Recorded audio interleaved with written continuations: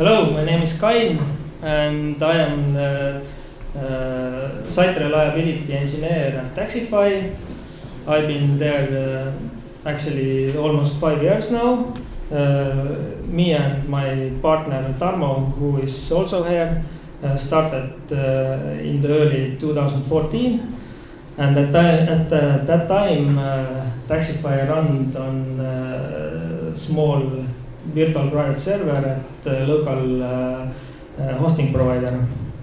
Uh, and middle of 2015, we started to look up uh, AWS and we migrated to AWS at the end of the 2015. So we have been heavily used at uh, AWS almost uh, three, actually already three, three years now. So uh, I will uh, talk about uh, AWS networking at general way. I will not talk about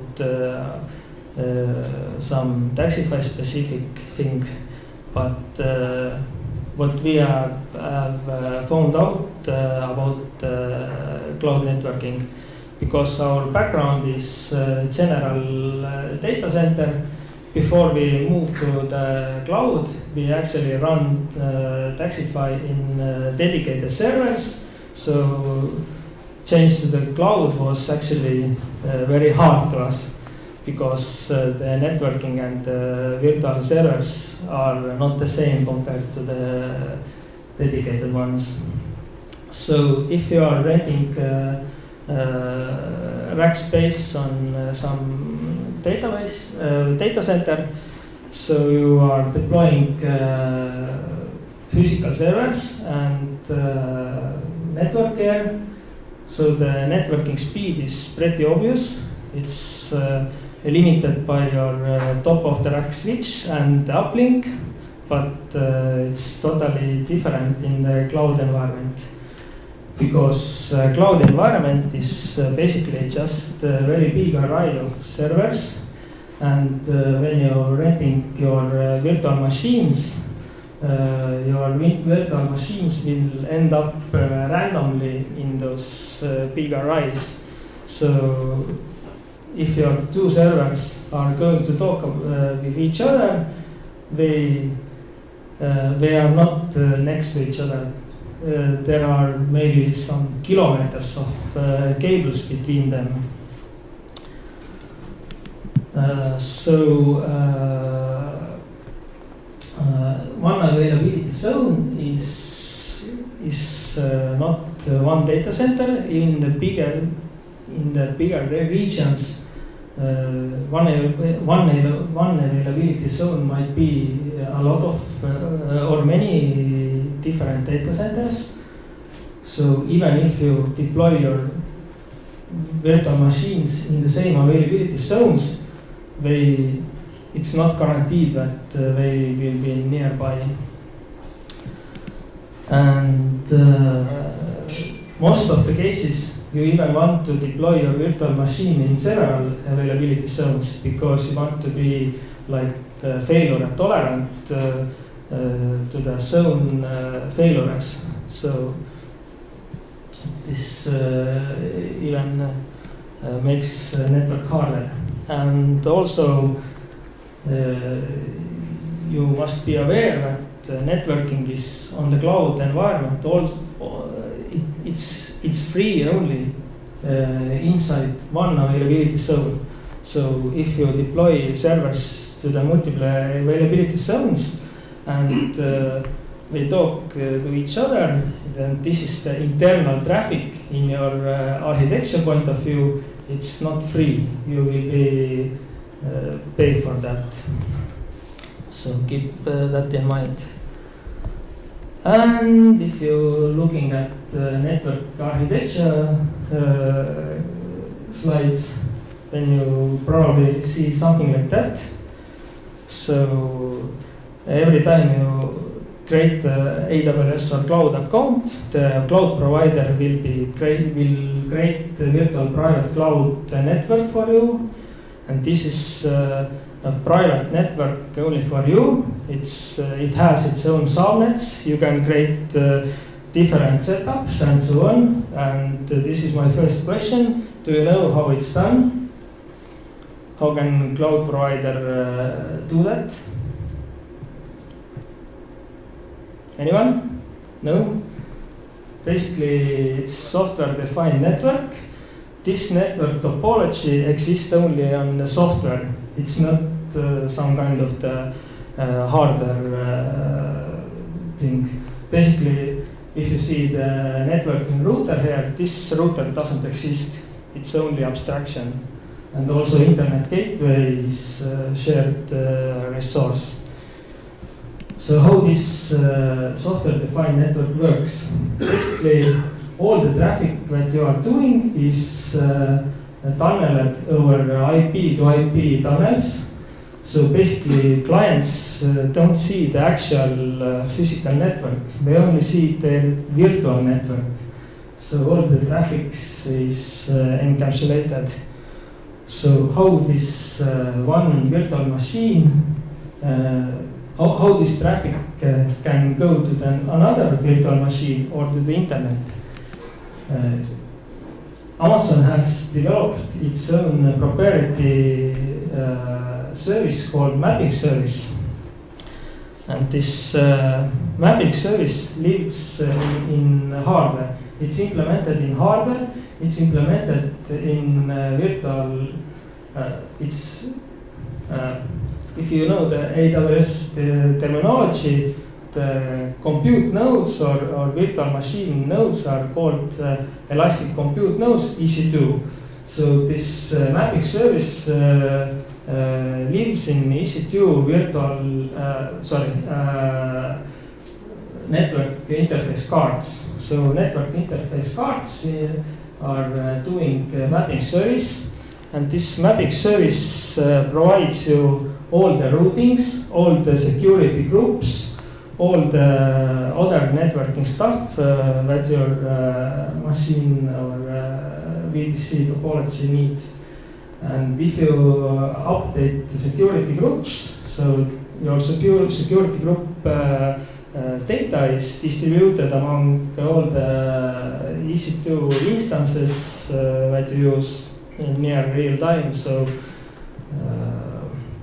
yeah, and uh, this is this mapping service is actually very capable. It's uh, looking at all the packages that you are sending in or sending out. So, and actually, this is very clever solution because uh, if you think that AWS doesn't need to provision uh, for for its own infrastructure uh, nothing special. All the Dynamo DBs, all the S3, all the other uh, AWS services are actually also EC2 servers. Exactly the same virtual machines as in as the client. And they basically use the same uh, backend storage Elastic Block Store as the clients. So uh, this this kind of the, uh, structure is very dynamic or very scalable. So AWS doesn't need to uh, pre-provision uh, its its own uh, uh, services before, and it can go hold the whole uh, data center as as it needs. Or, and this is how the virtualization looks uh, this is this uh, diagram illustrates uh, Xen hypervisor. Actually, there are many different solutions used currently, but this Xen hypervisor is the oldest one, but it's usable. For example, T2 instances and then three type of instances uses this Xen hypervisor.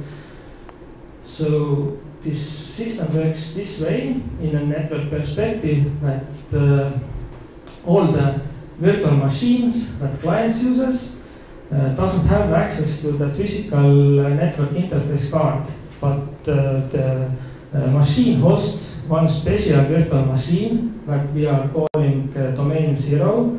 This domain zero uh, runs uh, network drivers for the physical hardware and also the software proxy drivers that uh, communicates to the client the virtual machine uh, virtual interface drivers. So all the networking traffic goes through this uh, DOM0 and uh, exits uh, from DOM0 to network interface card. So this, this was the, uh, the oldest uh, solution. The next uh, solution in the evolution, in the networking uh, evaluation was uh, this uh, 10 gigabit uh, uh, Intel uh, networking interface card. This uh, interface card is uh, somehow special because it uh, uses single root IO virtualization technology. It means that this one physical network interface card can expose itself uh, with many different PCI interfaces uh, to the machine. So AWS can assign uh, those uh, virtual PCI interfaces to the to the client virtual machines. So if the client virtual machine have uh, proper network driver that can uh, talk to this uh, Intel network interface, so uh, this uh, client uh, virtual machine then can can do uh, direct uh, network uh, traffic uh, without uh, uh, DOM zero. So this is much better way, less jittering, uh, better performance, and so on. And this uh, other uh, networking card that we see in this uh, slide is actually uh, this uh, AWS proprietary card that does software-defined networking. And this is also the old uh, uh, uh, technology. M4 and C4 type of uh, servers uh, use that. And the latest uh, generation uh, uh, virtualization is actually virtualization that is implemented in hardware. So latest generation machines, the fifth generation AWS EC2 machines are hardware virtualized machines. So no DOM zero anymore, no Xen. The whole machine, the hundred percent of the machine can be provisioned out to the clients. So the uh, virtualization is done in the internal chips and, the, and uh, all the networking traffic and the storage traffic goes uh, directly to the uh, special network card. And this network card does uh, the software defined networking and all the other pro- provisioning and security uh, things. This uh, technology is uh, uh, developed by Annapurna Labs, which is uh, AWS owned company. It's Israeli based uh, chip maker company. Uh, so this technology is uh, proprietary for AWS. Actually, the other uh, cloud networks like Google and Azure does this software-defined network totally different way. Actually, each of the clouds does it totally different way. So uh, this this last uh, picture is uh, like uh, the fifth generation machines, so C5, M5, R5. Uh, to use those uh, uh, and so-called enhanced networking uh, cards, you need to have a proper driver inside your uh, virtual machine. So, for example, if you are using uh, M4 uh, virtual machines, but you don't have uh, a driver for this Intel card, you probably will just use uh, this virtual interface with, with driver and uh, you are uh, doing networking through Xen. But if you want to use fifth generation machines where is no Xen, you must have uh, special EMA driver to uh, so so you can't uh, do networking without it. Uh, so the easiest way to do uh, is uh, just use Linux AWS kernel, kernel. So you just get this all the, the sets of uh, drivers out of the box. But if you pick the AMI, the uh, Amazon machine image, you still need to tag them or set the attributes to the machine image. So the Amazon knows when he launched the machine that this uh, image is uh, capable to use uh, ENA driver or this uh, Intel SRIOV driver. So this is the way you can uh, enable this uh, feature in the AWS command line uh, tool. So the new thing is personal network. In, in the past, when uh, those uh, three and four generation machine uh, didn't have burst networking capability. So basically all the physical networking speed was divided by the virtual machines and uh, if you picked a small machine, you just uh, uh, got a machine that was uh, shaded down uh, more and uh, if you pick a bigger machine, you will get uh, uh, bigger limits. But uh, with the parsable capability, uh, your networking, uh, if, if you launch machine, your machine gets networking credits. It basically, this system works like CPU credits and EBS credits. If you know that how this works, basically uh, you launch machine and you will get uh, some kind of, some uh, credits you hit, so you can do more networking after the start.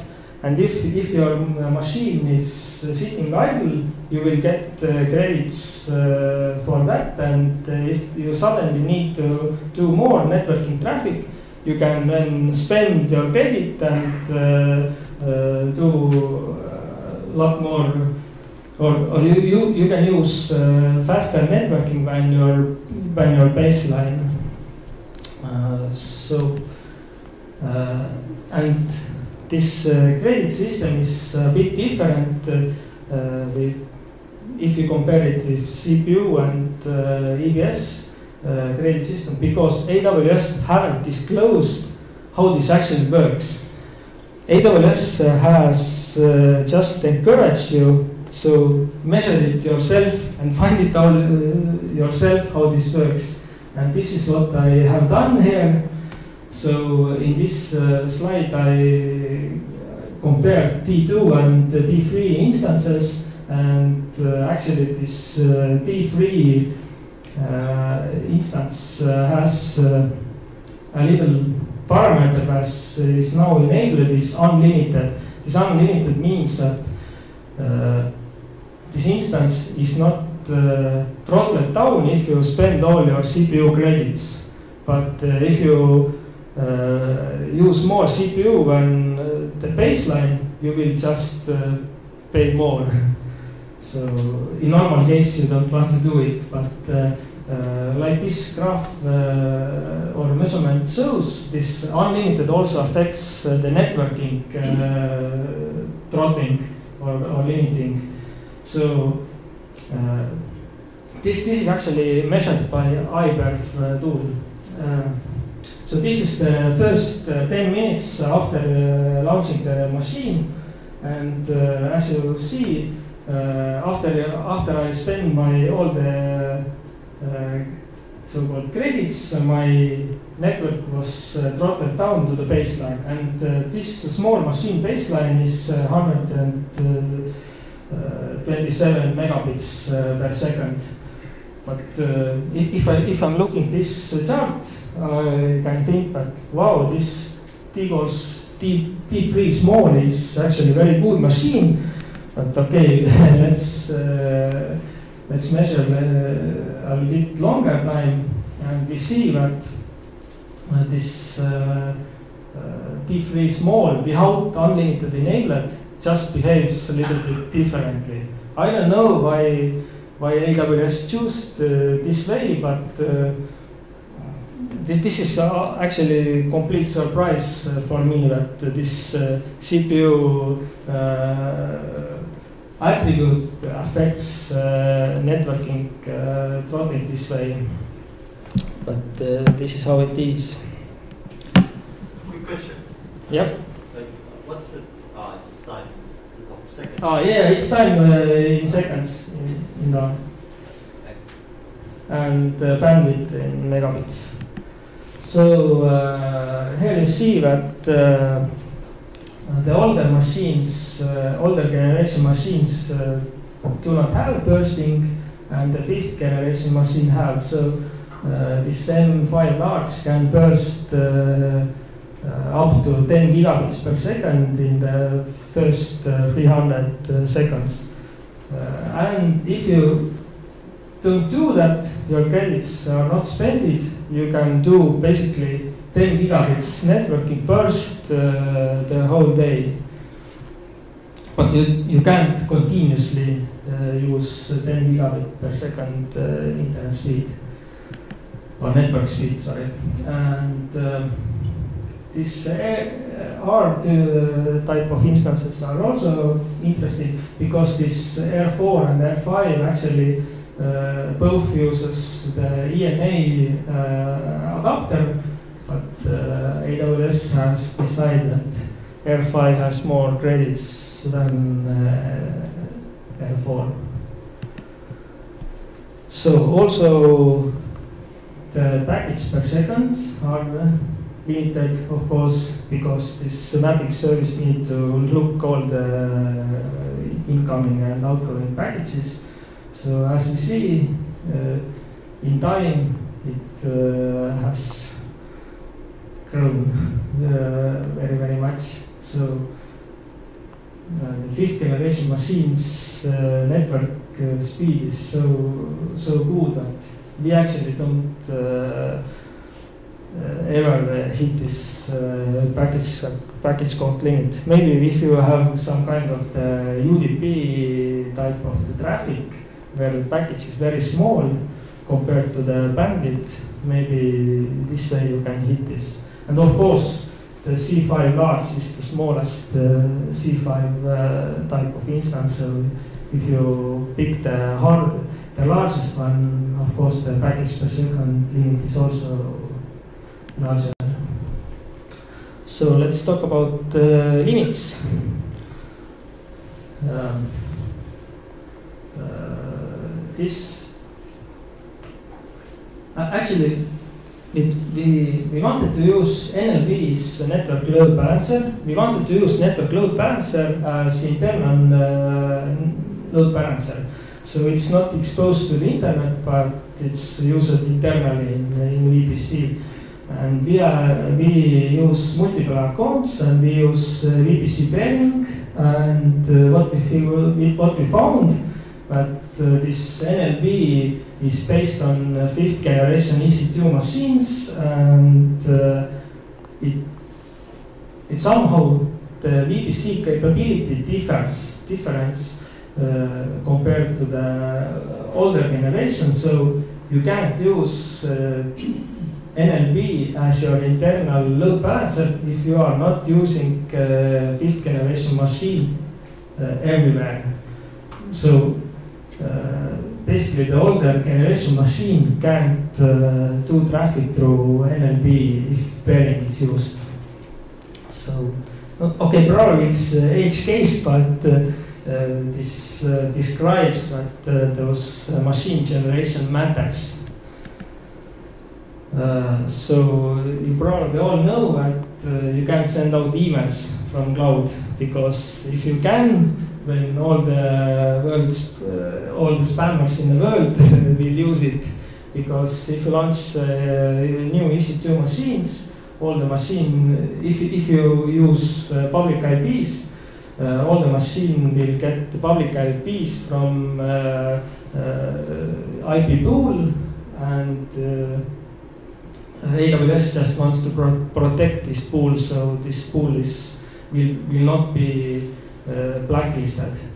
So in this slide, you see that uh, after I made three attempts uh, to connect to the port uh, 25, I will uh, AWS uh, blocked my request. So if, if I if I need to set up a proper email server, then by default I can't do I can't do that.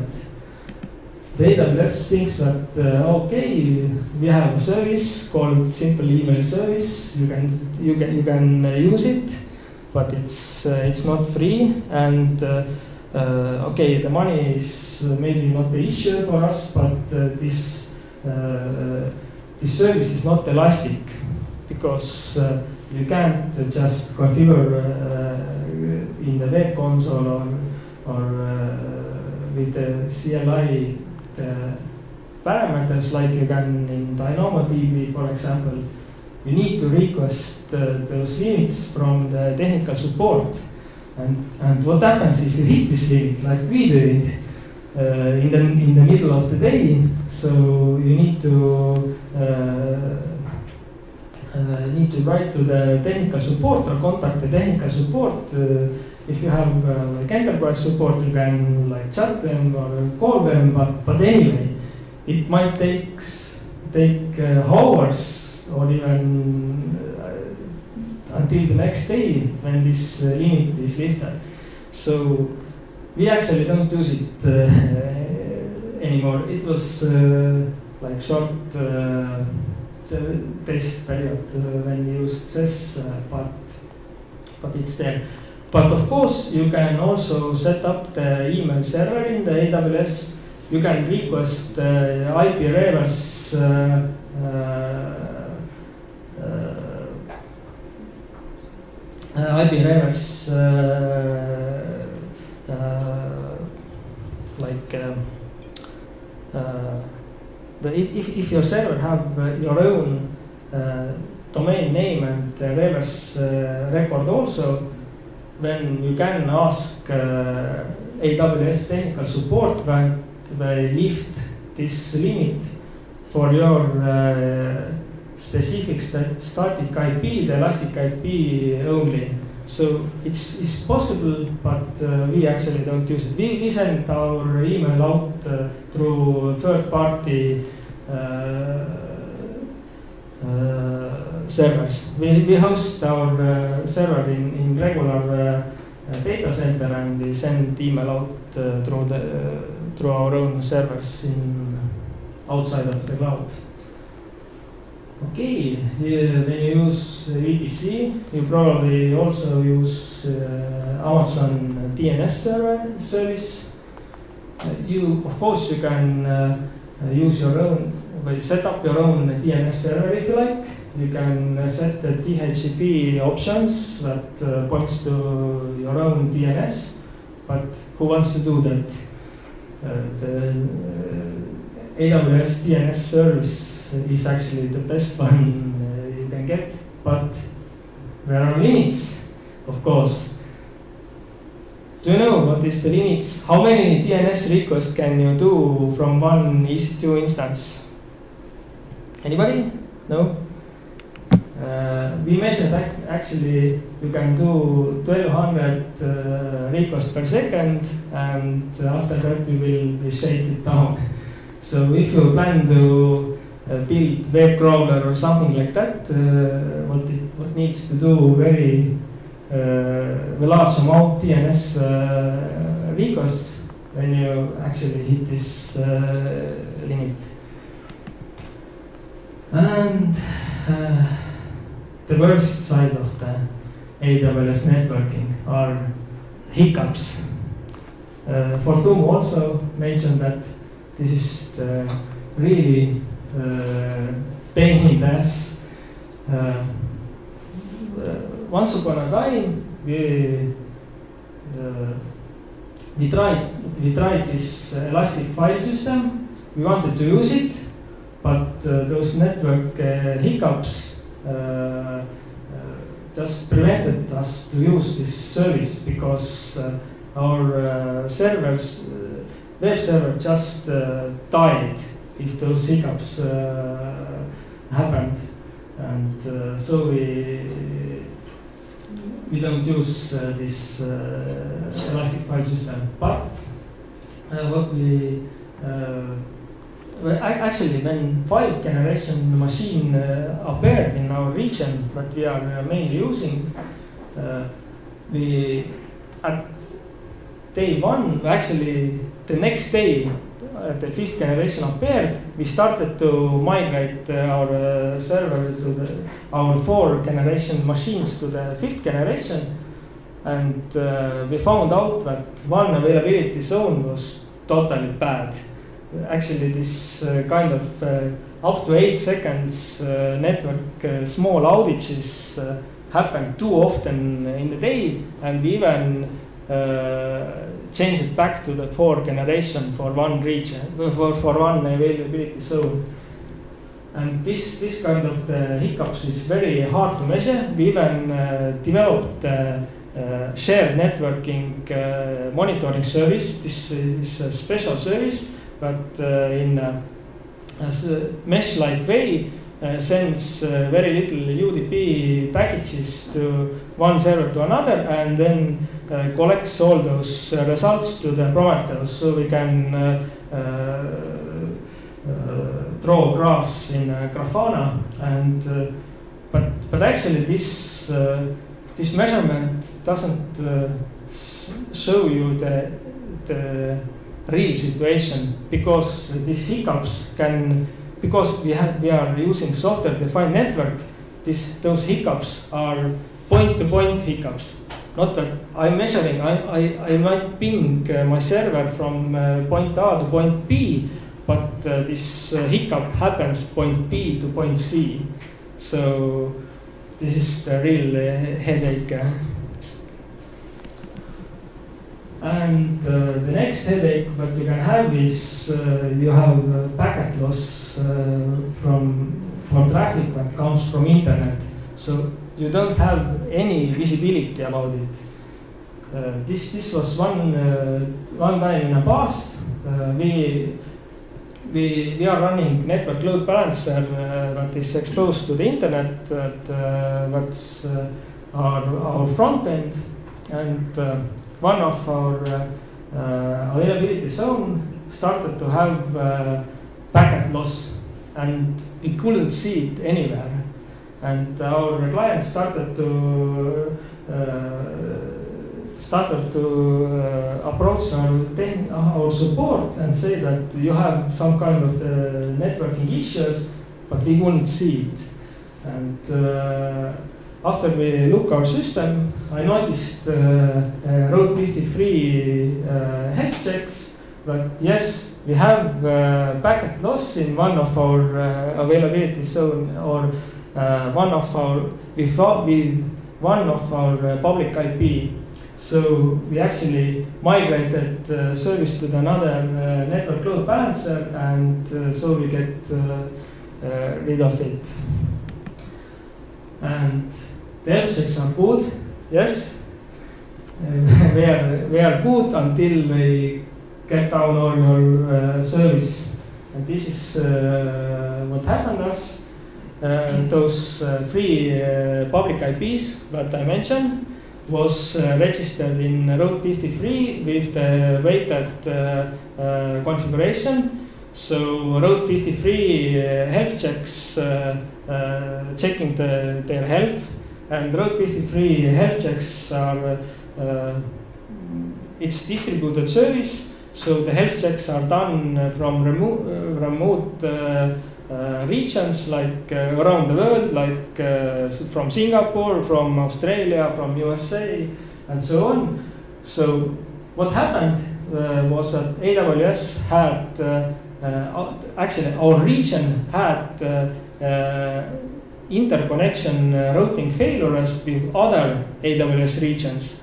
So all those health checks that are remotely made was uh, those health checks failed because uh, uh, AWS internal inter-region uh, uh, network was down. And of course, what health check decides, it decided I can reach your service and it took us down. But uh, the internet connection actually uh, was healthy. So uh, we saw in our graphs that something is happening, our traffic is falling. We uh, log in everywhere and we didn't see it. What the hell? Our connection is good, but our service is, uh, is down. So yeah, we, now we are not using that. so health checks uh, can be bad also. And my last uh, one is uh, if uh, some someone has uh, more expertise on AWS, this is like a little hacking quiz. Uh, so let's let, let's let's see that you have this lonely EC2 machine, this totally snowflake. You can't remake it like with cloud formation, and uh, this is owned by some of your teams. Uh, this uh, uh, this machine was deployed in a public subnet, and you have uh, uh, request that you need to move this server to the private subnet but you can't destroy it, you can't uh, remake it. How will you do it? Can you take it down? Can you shut it down? Yeah, you can shut it down, but uh, you can't re- recreate it. Detach storage, recreating private storage, attached storage. Yes, this, this is the quickest way. Act- act- Actually, if you read the documentation, then documentation will say that uh, take the snapshot and and um, create a machine image and start the new machine. But yeah, the quickest way is actually create new machine to the new to the private uh, subnet and uh, de-attach uh, EBS volumes from uh, both of the machines and reattach this uh, snowflakes uh, root volume to the new machine and uh, start it up and you will get the same machine with different networking uh, configuration. Okay, questions?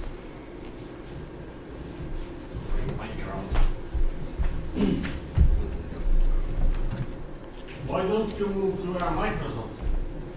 Azure. I don't know. AWS just uh, uh, in time we, we started to use AWS. AWS was more mature. I I think this is the correct answer. This is why we are not using Azure.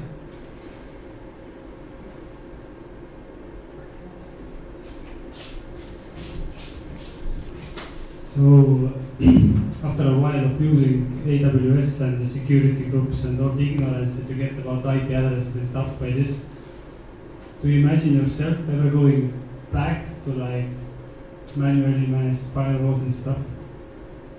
Mm, I think no. If if you if you have like five machines, then it's pretty easy to manually configure them. But if you have uh, like tens or hundreds machines, it's it's not doable. Any more questions? Um, Can you tell me, we all know that cloud is a lie it's uh, someone else's computer uh, and, and everything has uh, has hard limits. Uh, how many of, uh, of those limits uh, have you hit in Taxify where even Amazon support says, "I'm sorry guys, we cannot help you"? Um, actually, I don't remember any of those because uh, if we hit some limit or we see some weird action, we start to dig in the documentations and we start uh, Google and so on. So, and we, we try it out. Like I said, we, uh, we are coming from uh, on-premise uh, or uh, like regular databases we are actually experts in uh, Linux world. So, Actually, this uh, AWS was just uh, uh, not very well understood when we started to use it. But uh, we, we expected it to behave more like uh, physical machines. So this was the uh, thing that we need to figure out. More questions? Okay, I, I have a couple from, from, from before. So what that account model do you guys use at Taxify? Do you have like separate AWS accounts for each service or how do you roll? Um, uh, actually, yeah, we are using uh, several accounts, but uh, uh, we don't have any system like uh, for that. But uh, we we separate our services to the accounts so that if different uh, teams need to maintain them, then it's better done with a different account when the different different people from different team uh, uses the same account like shared account. So uh, our separation is not so wide, but uh, our production service, for example, uses uh, three accounts, and we have several accounts for uh, different kind of testing. So Cool. And one more question. As you said before, uh, when you started to use AWS, it was all new for you guys and so on. How do you train your staff now who is like just onboarding uh, Taxify? How do you train them in the world of AWS? we train them ourselves. So we we we are doing training sessions, and uh, it's you you learn quicker when you do stuff. So So internal training and just throw them in the water. yes. All right. Cool. Uh, if there are no more questions, then let's give a big hand to Kai. And uh,